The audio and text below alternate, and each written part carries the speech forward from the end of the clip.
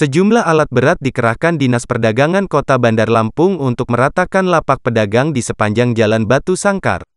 Upaya itu dilakukan guna memindahkan pedagang ke bangunan baru Pasar Smep Bandar Lampung, kondisi tersebut menambah kesedihan 50-an pedagang yang tidak kebagian lapak dan kios.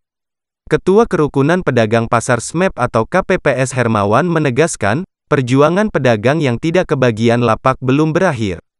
KPPS akan terus melakukan upaya agar semua pedagang kebagian lapak. Hermawan akan mendesak agar DPRD Kota Bandar Lampung melakukan hearing membahas soal tuntutan kocok ulang pembagian lapak. Besok rencananya KPPS akan mendatangi kembali DPRD Kota, mempertanyakan surat audensi yang telah mereka layangan sebelumnya. Anggota fraksi Golkar DPRD Bandar Lampung Heti Friska Tati menyayangkan sikap keras Kepala Dinas Perdagangan Wilson Faisal. Dia berharap, puluhan pedagang lama yang tidak kebagian lapak masih diberi kesempatan berdagang.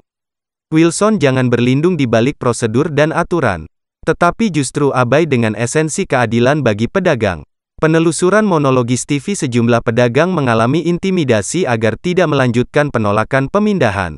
Sebagian lagi ada yang tergiur dengan iming-iming akan diberi lapak jika mau menerima pemindahan.